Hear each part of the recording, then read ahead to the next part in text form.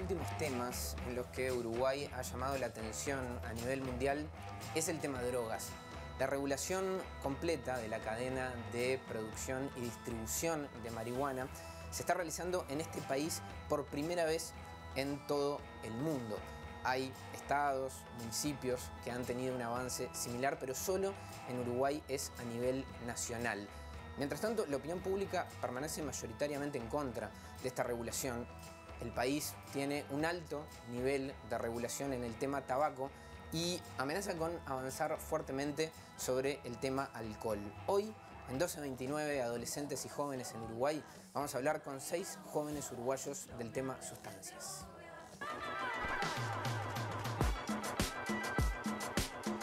Dato permanece constante en los últimos años. La sustancia más consumida por los uruguayos entre 15 y 65 años de edad es el alcohol.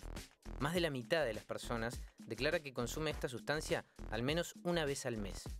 Se estima que una de cada cinco personas que consumieron alcohol en el último año presenta algún tipo de uso problemático.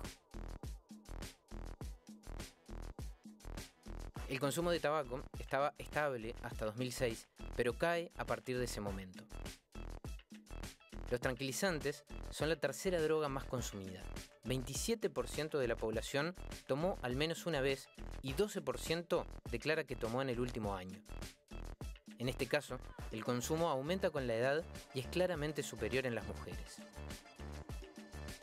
Recién en cuarto lugar entra la marihuana, que fue probada alguna vez por el 23% y en el último año por el 9% de los encuestados. Según la encuesta nacional de adolescencia y juventud de 2013, el consumo de tabaco diario u ocasional no supera el 23%. Casi la mitad de los jóvenes encuestados declaró que tuvo acceso a marihuana, un 18% a cocaína y un 10% a pastillas y pegamento. El acceso a pasta base fue declarado por menos del 7% de los encuestados. Dentro de los jóvenes que declaran haber tenido acceso a drogas, la mayoría no las probó. Solo en el caso de la marihuana, más de la mitad de quienes tuvieron la oportunidad de hacerlo consumieron. Por si es necesario aclararlo, en el programa de hoy vamos a hablar de sustancias, eh, de drogas, tanto legales como ilegales. No nos vamos a quedar solo eh, en el tema de las que hoy están definidas como ilegales. Pero antes de, entrar a, hablar, voy a presentar a eh, los invitados que tenemos hoy en piso. Emilia, ¿cómo andás? Buenas tardes, buenas noches. ¿Todo, bien? ¿Qué edad tenés? 23. ¿De dónde venís? de Barrio Sur. ¿Y a qué te dedicas? soy procuradora y trabajo en una organización social también. Bien, eh, procuradora quiere decir que estás a mitad de la carrera de Derecho, ¿no? Sí, en quinto. Ah, quinto, bien, ya casi terminando, digamos. Eh, Martín, ¿cómo andás? ¿Cómo estás? ¿Todo bien? ¿Qué edad tenés? 29. ¿De dónde venís? Del Cerrito de la Victoria. ¿Y a qué te dedicas? Este, trabajo en una empresa de distribución y trabajo en la organización social Red Usuario de Drogas Uruguay. Bien. Eh, Tatiana, ¿cómo andás? Bien, ¿vos? Bien. ¿Qué edad tenés? 21. ¿De dónde venís? De Montevideo. ¿De qué barrio? Cordón. Cordón, podemos decir Cordón, es una zona que habíamos hablado antes, una, una, frontera incierta de barrios, pero bueno, te definís por, por Cordón. Eh, ¿A qué te dedicas? Eh, trabajo en un CAIP y además he trabajado para el Abrojo en, proyectos de consumo responsable. Bien. Eh, Joaquín, ¿todo bien? Encantado. ¿Qué edad tenés? 19. ¿De dónde venís? De 33. 33, ciudad de 33. Sí, sí. ¿A qué te dedicas? Soy ahí del Frente Amplio y estoy estudiando a su vez bachillerato. Bien, eh, ¿tu edad, perdón? 19 años. 19 años, bien. Eh, Ignacio, ¿cómo andás? Bien, ¿y tú? Bien, lo más bien. ¿Qué edad tenés? 28. ¿28? ¿De dónde venís? De Malvin. Del barrio Malvin, ¿y a qué te dedicas? Soy ingeniero en empresas ascensores. Bien. Mantenimiento de ascensores, eso que vemos en todos los ascensores, el cartelito. Exactamente, algo de eso. Una, una de esas empresas. Bien, y tengo a Nicolás también, ¿cómo andás, Nico? Todo tranquilo, todo bien. Eh, ¿Qué edad tenés? 21, soy de Florida, ciudad de Florida, del departamento, por supuesto. ¿Y a qué te dedicas? Eh, soy locutor, comunicado. Bien.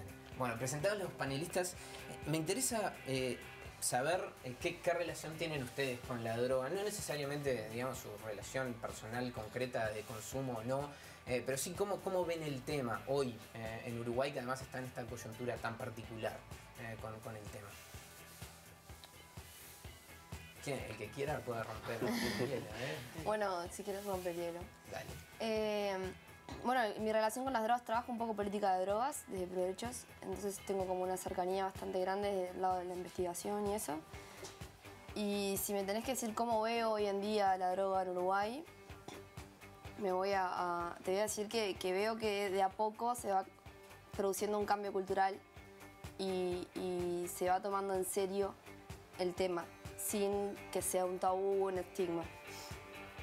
¿Ves que est- estamos en un momento de cambios? Eh, ¿Están de acuerdo con, con esta lectura? Sí, tal cual. En lo personal, sí.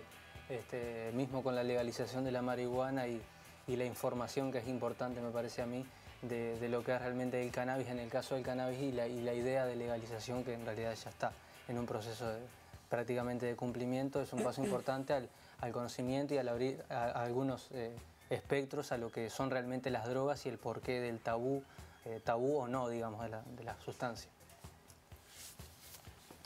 Eh, yo, quería decir que personalmente hoy en día uno está más vinculado eh, indirectamente directamente con el tema porque también los, cí- los círculos sociales que, y los círculos viciosos que tiene uno, el ambiente que se junta uno, hay un porcentaje ya, yo no, debe haber personas, pero yo no conozco sinceramente, de que tengo una barra de amigos, por ejemplo, en mi caso tengo una barra amplia de amigos y en esa barra de amigos hay un porcentaje de gente que consume, que consume drogas y gente que no, pero en sí no hay ninguno que no tome alcohol, por ejemplo. Y ahí ya estamos hablando de una. Claro. Este, varía, pero hoy en día me parece que es más amplio todo y por eso se ha perdido un poco eso del tabú, me parece. ¿Tatiana? Sí, no, estaba pensando lo mismo, que en realidad en, en esto de- del consumo de drogas y sustancias hay un, montón de, de sustancias que a veces no tenemos en cuenta y son, son drogas también. Como Claro, uno tomando una cerveza, por ejemplo, y dice, ah, cómo me estoy drogando. Claro, ¿no? sí, Soy un drogadicto. cual. Como que está más aceptado, más aceptado por la sociedad en sí. Sí, entra el juego del, del como es del, del, del pegue, como se le dice, ¿no? Del, del, del- ¿Cuál Sí, es la palabra? efecto. Del efecto, ahí está. de- de la- hay una gran diferencia también, ¿no? Entre el de repente Sí, una sí, claro. cerveza y, Sí, y la no, yo cocaína. un ejemplo suave, además, Claro, de, claro, de- de claro. alcohol. Bueno, Eh, pero están las pastillas, por ejemplo, eh, medicadas, de psiquiatras y todo eso, que también son drogas, los medicamentos. Tal cual. Eh, Ignacio, Yo creo que, como ella decía, este, hay una, mm, la sociedad está llevando a asumir más lo que es la marihuana, a, eh, este, que se llama más común dentro de nuestra comunidad. Yo lo veo como algo no muy positivo, yo no creo que haya que aceptar todas las drogas, o a ninguna, en verdad, no, no, veo por qué haya, haya la necesidad del hombre de consumir drogas, pero bueno, es una opinión personal que no va con lo que es la realidad por ahí veo que legalizarla de una forma es como reconocer lo que está sucediendo en el país. Bien, te sentís en minoría, no. pero aceptás que, hay- que hay una realidad que, que es... Es- No soy ajeno a lo que sucede en el mundo afuera. Bien. Antes de seguir conversando, eh, les propongo escuchar eh, y ver eh, una colección de opiniones de jóvenes acerca de por qué creen ellos que se consumen drogas en Uruguay, sobre todo porque los jóvenes tienden a consumir drogas en Uruguay. Vamos ahí. Y yo creo que más que nada, digo, lo- los temas grupales, los grupos de amigos en realidad, que digo, uno lo hace y como el otro lo hace, lo hacen todos. Y a veces, muchas veces cuesta decir que no, he visto casos por el estilo. los ratos libres, o sea, libres por demás, ¿no? Yo que sé, capaz que hay, mucho, hay, muchos jóvenes que, no estudian o, no hacen nada y bueno, está, y, ocupan sus cosas en otras cosas. Muchas veces eh, quieren evitar sus problemas o salir de la realidad, por lo que, se, lo que se dice que quieren salir de la realidad, pero en la realidad eso es por un rato, porque luego caen en, en la realidad, digamos, y ven que están peor de lo que estaban antes. Yo creo que es una cosa más social, ¿no? Digamos, de estar entre grupo de pares y, y bueno, está. Y, y una vez que uno de, de repente prueba determinada sustancia, le gusta el efecto, le gusta lo que, lo que le hace en el cuerpo y, y, y bueno. no saben bien lo que son y se acercan por, por curiosidad o lo que sea y no conocen los límites y de repente se le va de las manos. Pero si, si tenés una buena base y, y, yo qué sé, gente atrás tuyo, no, no se te va a ir de las ramas, ¿no? Me parece que, por ejemplo, cuando estás mal o estás bajoñado, como se dice comúnmente, me parece que hay ciertas drogas que te ayudan a levantar eh, la autoestima y por eso la consumen.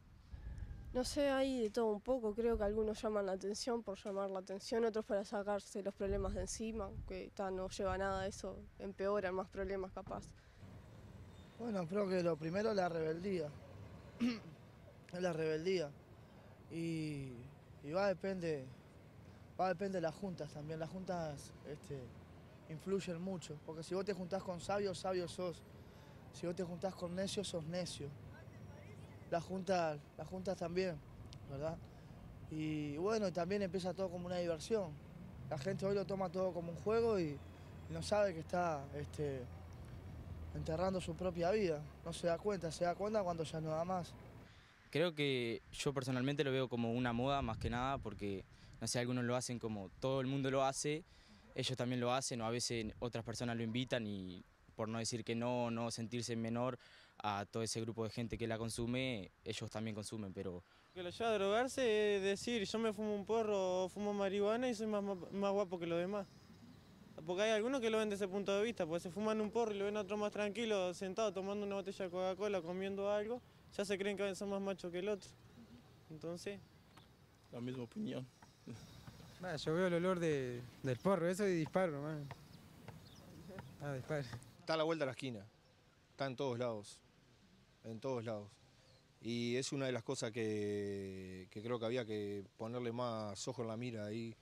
De hermanos mayores, amigos mayores, viene así como que lo van inculcando y no, no está bueno. Mira, el cigarro yo cuando comencé, te voy a dar un ejemplo mío. Yo cuando comencé a, consumir cigarro era porque me sentía adulto, ¿no? Y como que buscaba esa aceptación. Y también veía amigos que fumaban y yo decía, si yo fumo, ¿por qué yo no? Entonces yo me quería sentir adulto. Y yo, yo pienso que hay gente que hace eso también. Bueno, primero porque hay, está, y segundo a veces creo que lo, lo- lo- lo prohibido es un poco tabú. eh, y el joven cuando le dicen no hagas esto, lo, lo haces. ¿tá? Tus padres te dicen no hagas esto y vos necesitas experimentarlo vos mismo para, para, para realmente para saber qué es y bueno, está. después está en cada uno, en saber cómo manejarse si entrar o, o no en ese mundo o, si poder salir,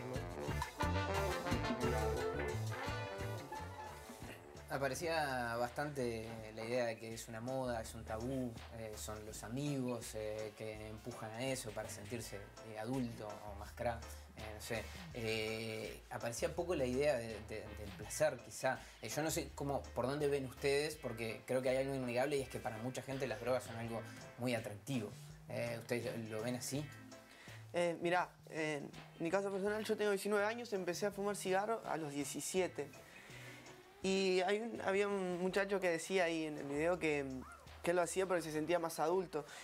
Y está, ti- tiene razón, yo me sentía con mucha seguridad a la hora de tener un cigarro, estar en, para ser hipotético, en un baile con amigos, eh, alcoholizados y con un cigarro en la mano, a mí me daba seguridad. Porque el primer cigarro a mí no me gustaba, tosía, me caía mal y no sabía tragar el humo. El segundo tampoco, el tercero tampoco, el cuarto tampoco, pero ya el quinto, ahí le entras a agarrarle el gustito, digamos. Y esos cuatro, cuando vos empezás a fumar, por dar un ejemplo de cuatro cigarros, ¿verdad? Uno lo hace por seguridad, porque en realidad y realmente no le gusta. Estoy, seguro que a todos les tiene que pasar eso. No creo que el primero que pruebe un cigarro le guste. ¿Hay experiencias similares con el tabaco, eh, en este caso? Sí, en lo personal sí, socializar, digo, hace muchos años. Después no lo no- en lo personal no, no lo pude sacar, pero digo, es parte también de la adicción que genera en la sustancia.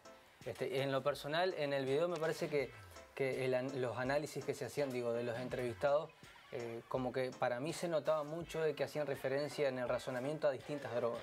Muchos hacían análisis vinculados directamente a la marihuana, para mí, este, y otros más vinculados a drogas más pesadas. Cuando alguien hace referencia, por ejemplo, a que es muy mala, eh, yo dudo, digamos, que los jóvenes en Uruguay piensen que la marihuana es muy mala, me, me parece. Este, entonces quiere decir también de que hay vinculación entre los jóvenes con muchas drogas, por eso los entrevistados hacen referencia claro, a diferentes no, no drogas. una pregunta guiada a una droga Claro, claro, el pero el análisis, yo voy al análisis, digo, la respuesta concreta de cada uno, en, en- digamos, en el razonamiento. Claro, sí, se Se podría le venía a la bien, cabeza eso- distintas eso drogas. Creo que algunos saber. a la coca, otros a la pasta base como drogas muy malas y otros simplemente a la marihuana o a drogas como sustancias muy- hace mucho tiempo legales, como siempre legales, quiero decir, como el cigarrillo. Eh, ¿Vos cómo lo ves? Eh, para mí no es cuestión de, de que sea legal o ilegal, sino que drogas consumimos de que, de que somos chicos, sin darnos cuenta. Sol- solamente cuando nos dan el azúcar en la leche ya de chico, o por ejemplo te dan algo dulce de chico para que te calmes cuando llorás, esas cosas ya ahí, te- ahí ya estás inducido, estás dependiendo de una droga. Ya estás consumiendo Eh, sustancias todos somos usuarios, todos somos usuarios de alguna sustancia. El que no, con, cada uno con su sustancia, el que no cigarro, el que no marihuana, el que no cocaína, el que no éxtasis, ¿por qué no? El que usa alcohol y otras sustancias. Me interesa, Ignacio, vos qué tenés para decir de esto que dijiste que en principio estabas en contra. eh, Yo en lo de personal, se hoy en día, digo, algún vino, porque me gusta el sabor del vino, tomo. Después no consumo ningún otro tipo de droga. Este, yo creo que hay pluralidad de motivos por los cuales alguien empieza a consumir, depende de su clase social, su, su- su situación familiar. Este, hay gente que tiene todo y capaz que empieza a drogarse porque está aburrido, quiere probar cosas distintas, por placer. Gente que está en un estado emocional muy malo, problema con la familia y quiere escapar. Yo creo que hay infinidad de motivos por los que la gente se droga. Digo, no hay Hmm. algo puntual. También sí, depende, como, como decían, de, de- de qué drogas estamos hablando, porque bueno, si ponemos al azúcar estamos hablando de, de una diversidad Sí, sí. enorme eh, de, de- de posibilidades. Tatiana, ¿cómo la ves? Sí, no, yo pienso que, que en realidad eh, el, el ser humano siempre ha consumido drogas desde hace muchísimo tiempo, desde que existió, y, y por muchas razones. Entonces, también hay muchos beneficios. Eh, tam- tampoco como hablar siempre del lado negativo, que, que es a veces el que sale más. Tiene un y- montón de- Y es más correcto, ¿no? Hablar de, de que no, de que las drogas hacen mal, las drogas esto, las drogas lo otro, cuando en realidad tienen, tienen un lado Sí, bueno, hay un cierto ver, efecto bueno. positivo para el que las usa, para el usuario. Sí, para hay- el que realmente es importante usarla. Hay algunos Porque- datos que pueden ser discutibles eh, o, o por lo menos eh, eh, debatibles, pero que, que indican que en el caso de muchas drogas, la mayoría de los usuarios, por ejemplo, no tienen, digamos, no son usuarios problemáticos de, de drogas. Esto digamos, es un dato que, que a veces, por cómo está construida quizá la idea eh, que más circula en la sociedad sobre las drogas, no, no, no es tan visible como, como información eh, al respecto, que es una información que, que a veces aparece. Eh, no sé, Emilia.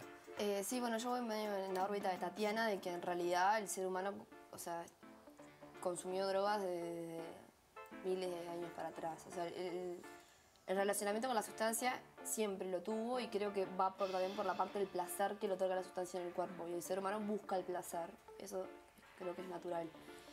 Eh, creo que la prohibición de las drogas trajo consigo también muchos problemas en ese relacionamiento y después se le otorgó toda una carga cultural y no a, a lo que es el consumo.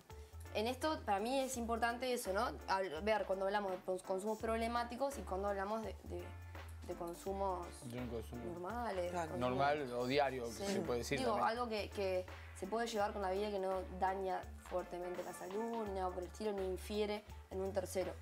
Para mí deja de ser problemático desde el momento que, que vos eh, tenés uso de razón de, de tus facultades físicas, no interceder los límites ajenos. O sea, consumir tus sustancias sabiendo lo que le hace a tu cuerpo, cuáles, eh, cuáles, le- cuáles son los componentes que tiene esa sustancia.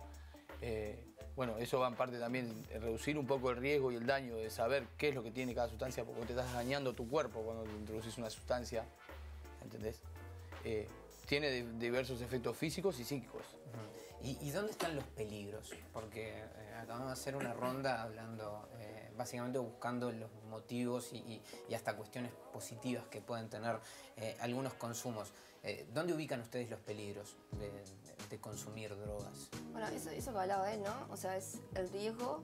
El, el rie- el- uno- el primer riesgo, eh, si querés saber el primer riesgo que tiene el usuario, el primer riesgo que tiene el usuario es conseguir la sustancia porque nadie se la provee, la tiene que conseguir en el mercado negro. Cuando drogas ilegales. Eso ya sabemos que, bueno, está, sabiendo que ahora, por ejemplo, está el alcohol, sabemos que es legal. Entre, en entre comillas, bueno, el cigarrillo menor, lo mismo, tiene también tiene sus, sus prohibiciones, ¿no? Después de las 12 de la noche no lo puedes conseguir, el cigarrillo ha subido un montón, bueno, un montón de cosas que ha puesto el gobierno para que esas drogas como que vayan, no sé, como que vayan disminuyendo dentro de la población y la sociedad. Tanto por el cáncer como por el tema del alcoholismo y Sí, que también es cancerígeno el, eh, el alcohol. Eh, ¿Ustedes? Yo creo que, y volviendo un poquito al tema de antes, el ser humano de por sí ya es, cu- es curioso. Si bien vos decías que también lo hace para sentir una sensación de placer, además eh, hay que preguntarle a Eva por qué mordió la, fruta prohibida, ¿no? Bueno, yo Eh, no sé si debe- me llevo mucho la, la fruta prohibida, pero dale, sí, ponele. Debe ser por. No. Metáfora, como metáfora de lo prohibido, Claro, de la es atracción una de lo metáfora, ojo, Ah, no. Transemos en eso. Ateo. Este, pero va por ahí también. Y después del tema de la pe- peligrosidad, yo decía, a mí yo sé que el cigarro tiene más de 5.000 químicos, me lo hice en la caja todos los días. Me ponen, cuando estoy fumando, veo la caja y tienen las fotos más morbosas que he visto en mi vida y sigo fumando. ¿Y por qué?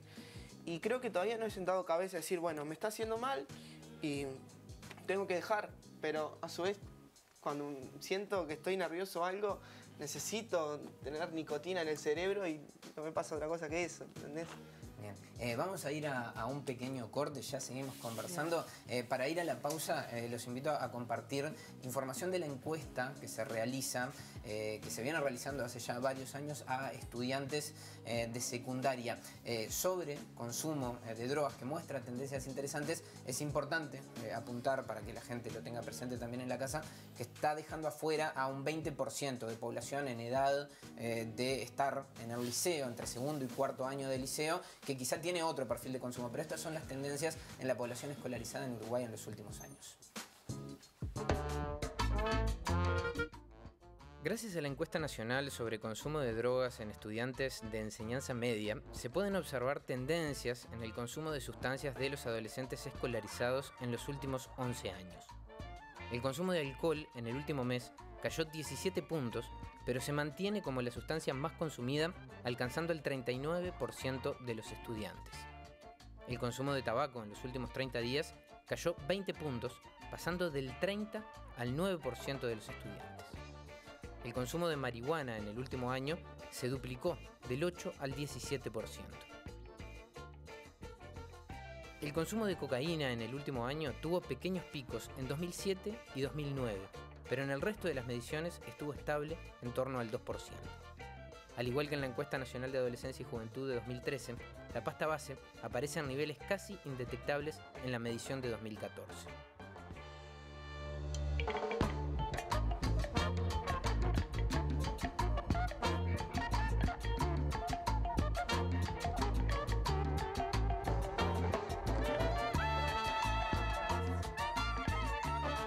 Seguimos en 1229, adolescentes y jóvenes en Uruguay. Recuerden que nos pueden seguir y comentar a través de las redes sociales en el hashtag 1229TV, en arroba TV en Twitter y en Instagram, y también en TV Ciudad en Facebook. Para comenzar este segundo bloque, vamos a compartir eh, opiniones de jóvenes entrevistados en distintos puntos del país, hablando sobre la regulación de las drogas en Uruguay. Este, mira, yo en realidad estoy de acuerdo con, con que la gente pueda plantar su planta, y, pero no, sé si estoy tan de acuerdo con que el, Estado te la venda y la, la- distribuya en farmacias. Así, yo creo que eh, para mí lo mejor de eso es, que, que- que cada uno puede plantar su planta en su casa, digamos, y me parece que ahí ya no, no- no habría tanto problema. Eh, yo creo que es positivo porque.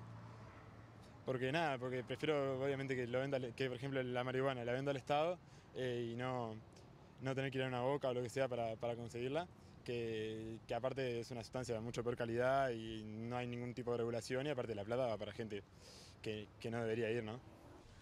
En cierto modo creo que está bien que se legalice porque hay gente que, que de verdad consume y no le hacen mal a nadie, creo yo. Y si es así, se controla, que siga adelante. Y si no, bueno, supongo que tomarán alguna otra medida, pero si no, está perfecto, no sé. Yo qué sé, eh, que el Estado regule el, el consumo de sustancias depende de la parte que estés atacando y depende de la droga que utilices, porque hay muchos problemas con la mayoría de las drogas que son los jóvenes, que son los, men- los menores de edad, de que eso de por sí ya, ya está prohibido y los jóvenes son los que a veces más consumen. Entonces eso no se puede regular porque el Estado no le va a vender a los jóvenes, los jóvenes van a seguir comprando las bocas de droga o si no en los supermercados que les vendan alcohol, ya viendo de que por el barrio ellos sa- saben que le venden. En esa parte ahí el Estado como que no, no ataca nada. Yo creo que es todo lo mismo. Sigue siendo lo mismo. Eh, esté regulado, esté controlado o no, eh, La venta clandestina está en todos lados, el consumo está en todos lados. Es como te digo, se encuentra la, la vuelta de la esquina. Y controlar, van a controlar al que va y se anota como consumidor y más nada, pero hay miles por fuera. De cada mil que se anotan van a haber cinco mil por fuera que están consumiendo. Para mí es es santo botón, porque consumir se va a consumir. Lo que le llama al adolescente eh, es lo prohibido. Y mientras más prohibido sea, más, más lo- lo van a probar. Y que legalicen la marihuana en este caso. Van a hacer que prueben más cosas, más fuerte. Lo que están haciendo bien, digo yo que están haciendo bien, espero que dé resultado, que se controle un poquito más y está. Totalmente en contra. La verdad que estoy en contra. Porque no me parece bien, porque es una puerta, este, la- las drogas van de la mano. Yo empecé fumando marihuana, este, seguí con el alcohol y después seguí con, con diferentes drogas. Me parece que va todo de la mano, una puerta te abre a la otra. Eh, por un lado está bien, o sea, por ejemplo este tema de que no se venda alcohol de después de las 12 de la noche, por una cuestión de que hay que, no sé si moderar el tema del alcoholismo, sino también el tema de, de los accidentes de tránsito. Este, pero en ciertos, en ciertos puntos no estoy de acuerdo porque no estoy de acuerdo con el paternalismo del Estado. Bien, varias ideas, no solo la regulación de la marihuana, también eh, la regulación del alcohol, que es algo que, está en puertas eh, y que probablemente se va a concretar eh, próximamente. ¿cómo, ven ustedes este tema, que además pone Uruguay en un lugar bastante singular a nivel mundial cuando hablamos de marihuana? Yo creo que a nivel de marihuana el partido se jugó y se sigue jugando acá. El tema de la regulación tiene sus pros y sus contras. Si bien vos podés plantar tu planta y tenerla en tu casa, para mí es una de las mejores opciones que le dieron al, al usuario poder tener su propia, cultivar su propia, en mi caso la marihuana, ¿no? Cultivar su propia planta y la terapia que lleva cultivarla, porque lleva todo un proceso que realmente es una terapia, verla día a día cómo crece, la de- tenés que experimentarlo, ¿me entendés? Es este, para mí, en mi caso, es una terapia.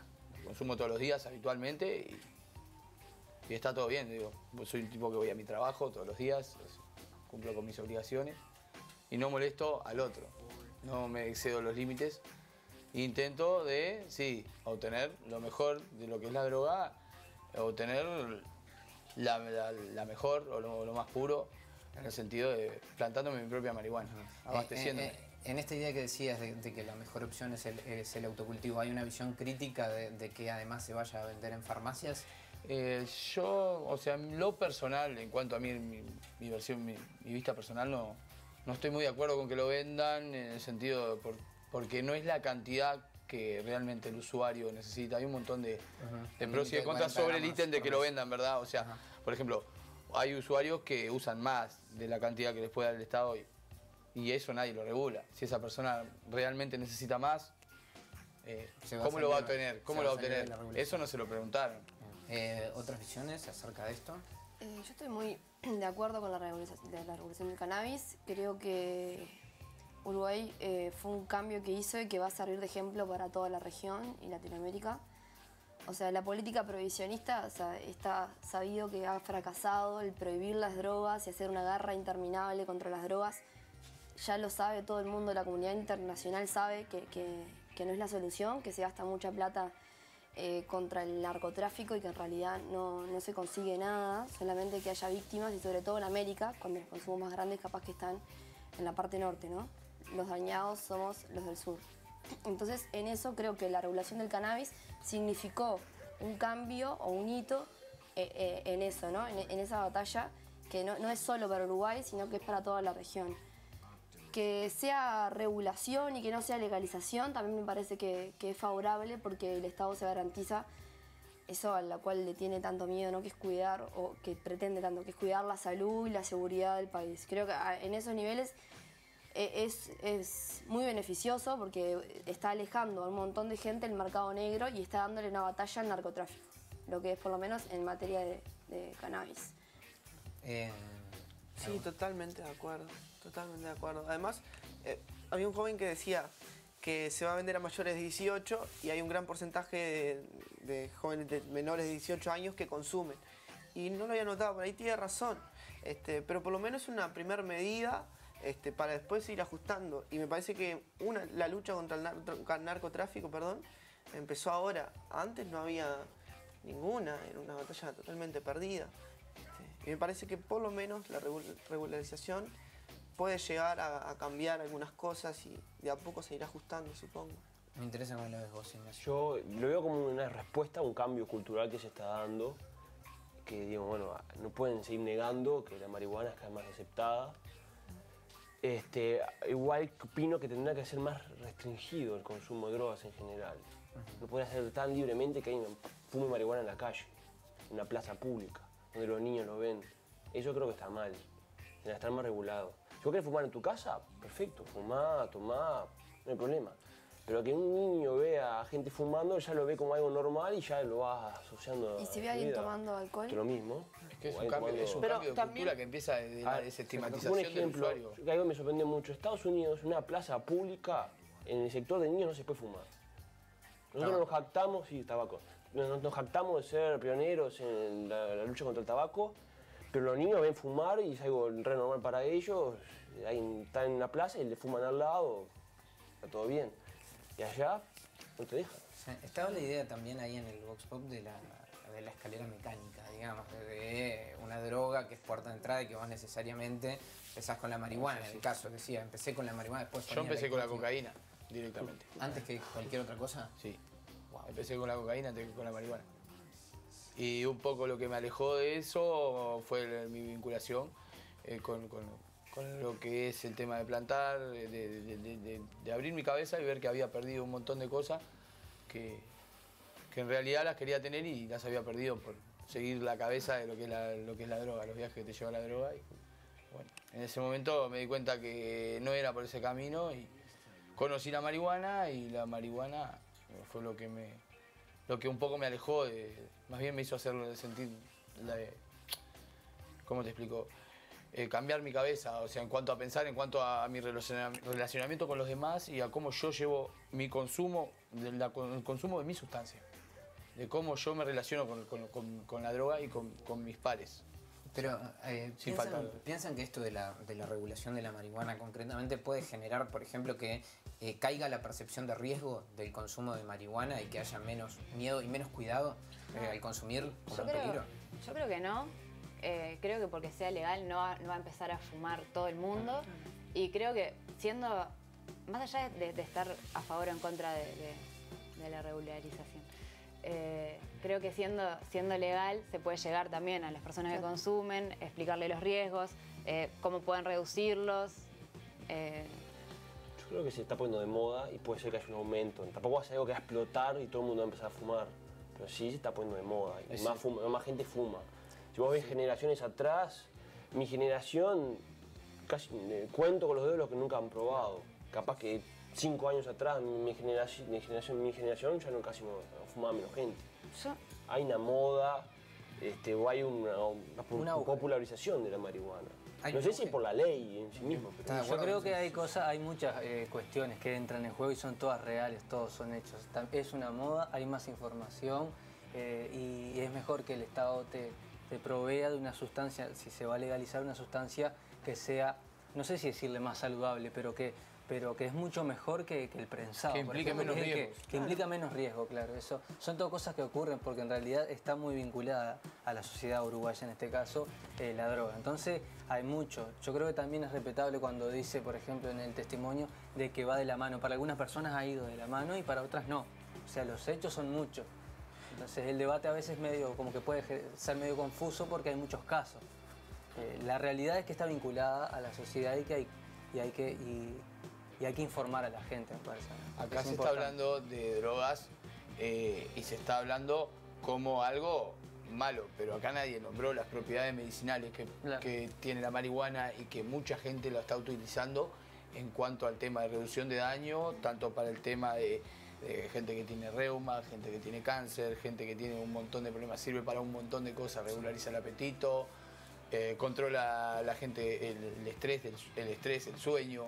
Bueno, el tiene origen un montón medicinal de... drogas como la heroína. Es una la planta cocaína, milenaria, por o sea, ejemplo, viene- todavía. Eso es un costado que, que, que está. Eh, a propósito de, de- de todo esto y de, y de distintas drogas y de enfocar en, en drogas puntuales, yo les voy a invitar a jugar eh, para cerrar este bloque. Básicamente les voy a dar eh, aquí eh, un panel eh, de drogas y ustedes van a tratar de ponerse de acuerdo. Eh, vamos a ver qué nivel de consenso se logra eh, para construir un ranking de peligrosidad eh, de las drogas. Las drogas que vamos a manejar son el alcohol, el tabaco, la marihuana, los fármacos, capaz que es un poco amplio, pero bueno, eh, a entender que también hay un uso eh, como eh, droga de los fármacos, la cocaína, la pasta base, el ácido LSD o tripa, no hay dudas respecto a esto, ¿no? Bien, la heroína, y acá tenemos un cartel en blanco, que es para que si a ustedes se les ocurre que hay alguna sustancia más que sea importante, incluir y poner en algún lugar de ese ranking, eh, lo hagan. Eh, yo los dejo con este material trabajando eh, y bueno, el programa es de ustedes. Formen un círculo así pueden trabajar mejor. Agarramos una cada uno. Bueno. Creo que hay que definir qué es peligrosidad, ¿no? Sí, es como... La que mata más, de qué forma. mata Sí, más. darle le un afecta orden, más ¿no? al cuerpo. Tal cual. a- Porque, a el alcohol o el tabaco es lo que más gente mata por consumo directo. El narcotráfico mata a mucha gente también. Claro. Y no hay narcotráfico ni de tabaco ni de alcohol, o, o muy poco. Pero no sé, habría que A mí, definir me, eso. a mí me parece que eh, bueno, la pasta base es una de las principales, este, no de las más fuertes, pero sí de las que causa más estragos. Si hacemos La referencia a la salud, eh, ¿verdad? Eh, en, en- en- en una persona en particular sí, pero en sumando todo, el daño que hace, ¿qué hace más? más Claro, porque el entra alcohol el o la- acceso. Bueno, pero estamos hablando de la peligrosidad de la sustancia, Estamos no de la Ah, bueno, eso por eso hay que definirlo, ¿no? La La sustancia sustancia en sí misma, eh, si te hace mucho, o sea, en tu cuerpo o en la sociedad en total. Se puede ¿Qué hace abarcar más de daño, las el tabaco, en la sociedad o en la pasta base? o sea, se podría abarcar de ese lado o del daño que esta droga o que Concreto, cualquiera de las en drogas concreto concretos a la hacen a la droga, ¿no? sociedad, ¿verdad? Sí. Exacto, ahí va. Una diferencia de lo que le hace el cuerpo o a la sociedad. Claro, sí. En realidad, en cuanto a lo que le hace el cuerpo, Y la pasta base llevaría el número uno. ¿Qué, otros, ¿Qué otras eran? Está Al la- cuerpo. está Está la cocaína, la La sociedad también, o sea, me refiero... ácido, ¿En números reales? Sí, en números en reales no. sé, por eso hay fuerza de la sustancia y como potencia de la sustancia, podríamos yo no poner... conozco, ¿Eh? no sé la heroína, si no heroína. Eh, al alcohol porque lo subestimamos y en Pasta realidad... base, ¿qué lo Bueno, ponemos? pero digamos, contra Yo iría por la heroína, creo. el ácido, el creo tema que es el que no es mucho más No, pero la heroína pura en realidad creo que hace menos daño que la pasta base, porque Ah, la ¿sí? pasta base ya está cortada. Claro. Claro, es, tiene Entonces le seguiría la, la, la, la heroína de repente, ¿no? A la pasta base. Sí, es La heroína, la pasta base. estamos por daño físico, ¿no? Sí, como... Sí, tenemos que elegir un eje. Causa muchos estragos.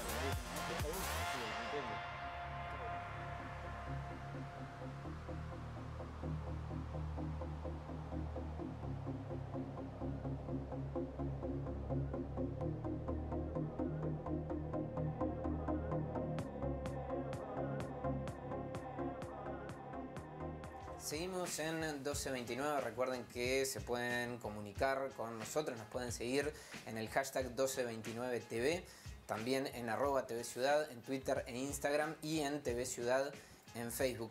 Tengo detrás mío eh, el resultado eh, del debate eh, de acuerdos y algunos disensos, pero bueno, el resultado de eh, lo que ustedes armaron como ranking de peligrosidad de las drogas que le dimos. Ignacio, te invito a pasar, eh, así presentamos esto, eh, que tiene en primer lugar a la pasta base, es la que consideran la más peligrosa. Sí, digamos, hay varios criterios para definir la peligrosidad de una droga. Decidimos es lo- qué tan dañina es para el cuerpo en un uso excesivo. Creemos que la pasta base es la, es la que más daño le genera al cuerpo en- cuando uno eh, se excede en el consumo. Y supongo que es un criterio parecido al de la heroína, en segundo lugar. Exacto.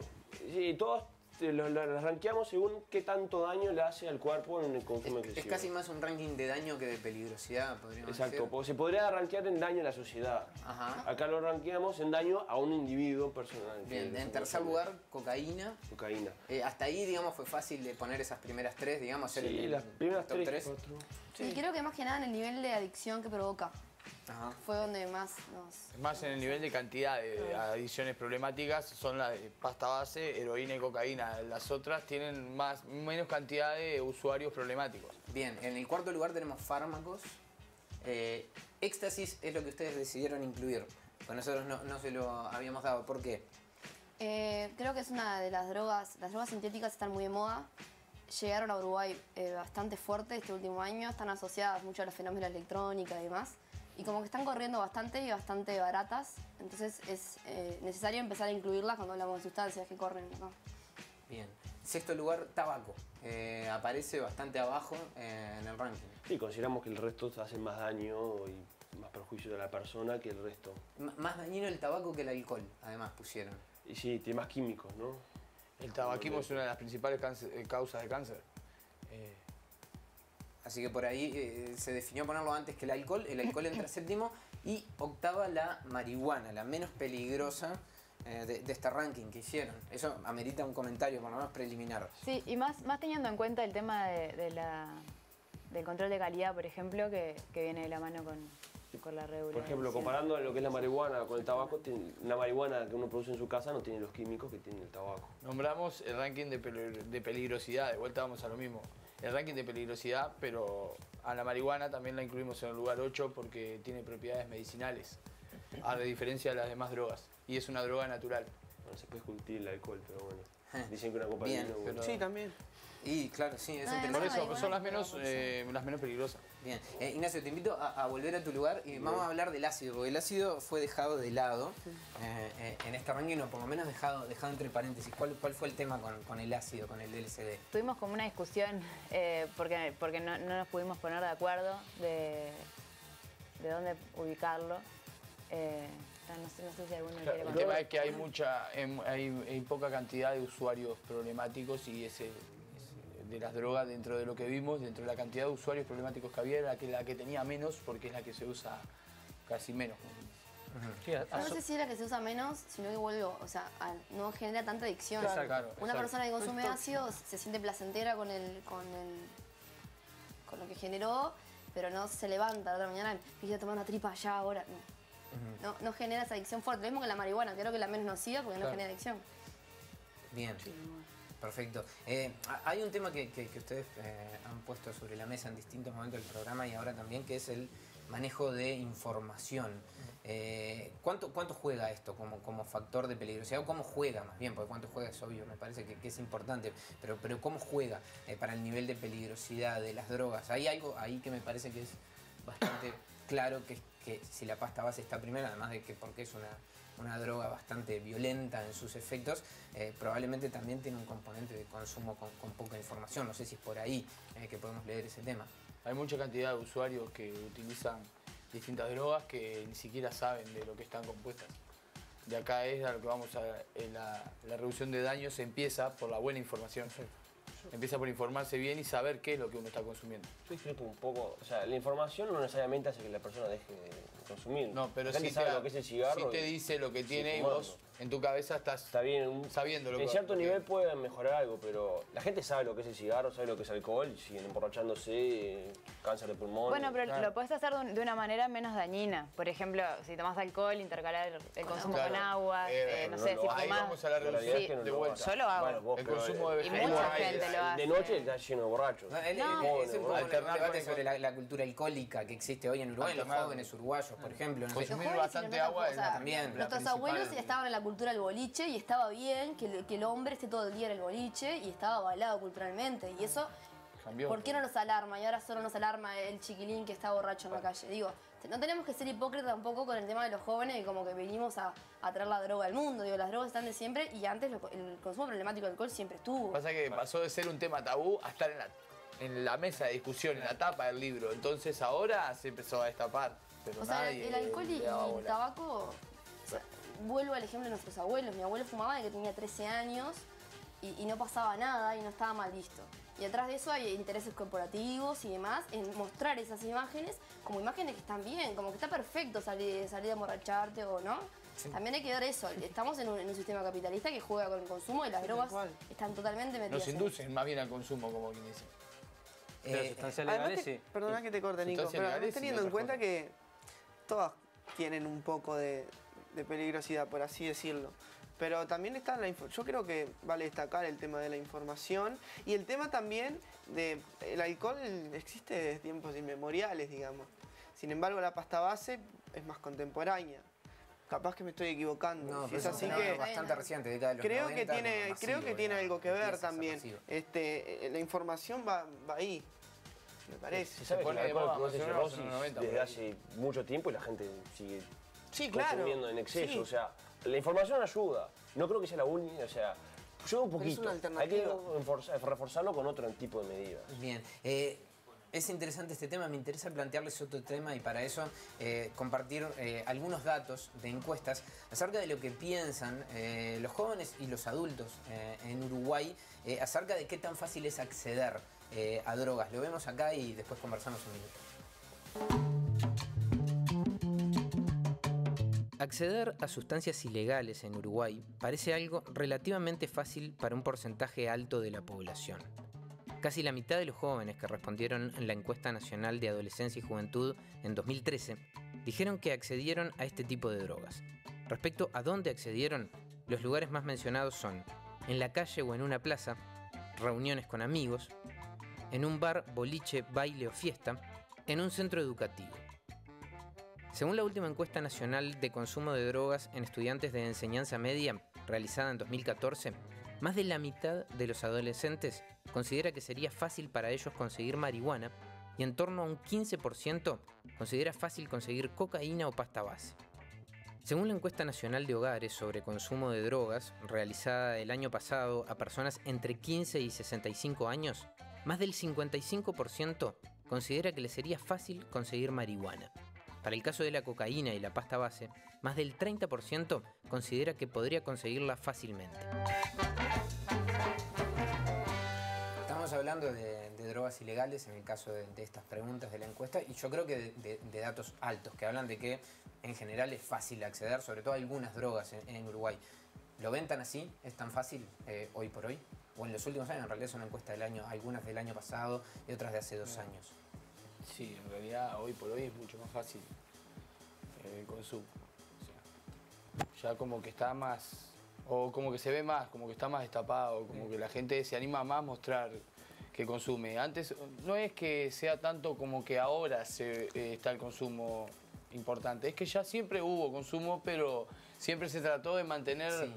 eh, que no se viera, que no se notara. Más y hoy por hoy pero claro. mucha gente sale, sale y, sí, se prende un faso, ¿entendés? O algunos Sí, está andan en la calle y acá la, pregunta era específicamente sobre eh, facilidad para conseguir. No, la gente dice, "Pa, para mí sería re fácil. eh, no tengo por qué claro. quiero, Sí, obvio. puedo conseguir. Sí, es tan fácil. es fácil. Hay mucho más accesibilidad, ah, accesibilidad, perdón, como está más naturalizado todo. O sea, hay drogas que son más complejas de conseguir. Yo creo que un ácido es mucho más difícil de conseguir que marihuana. Sí, obviamente.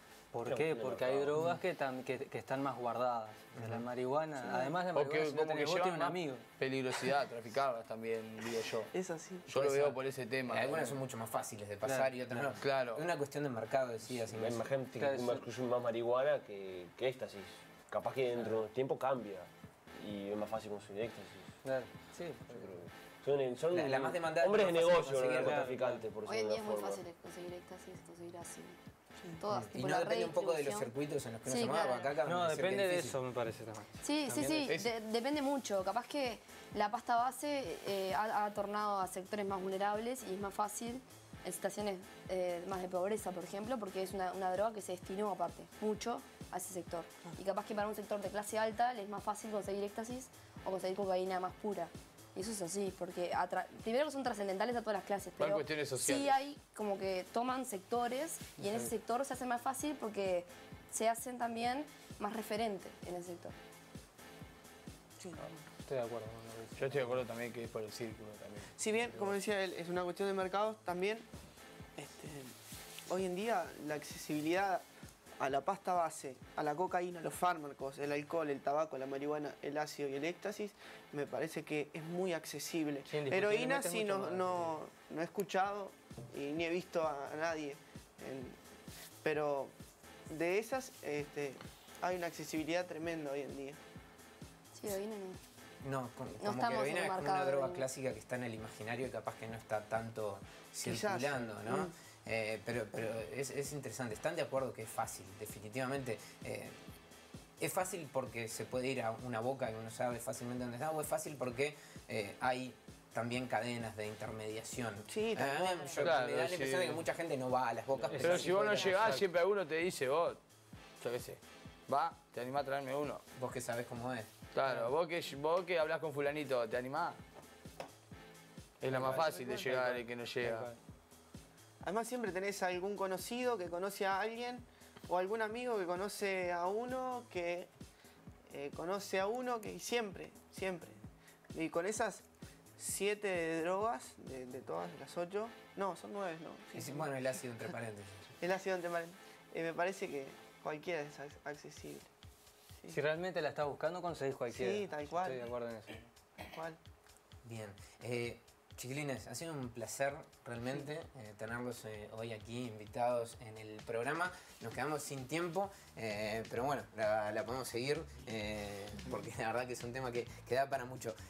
A ustedes les agradecemos por habernos acompañado en una entrega más de 1229 y los esperamos en el próximo programa. Chau, chau.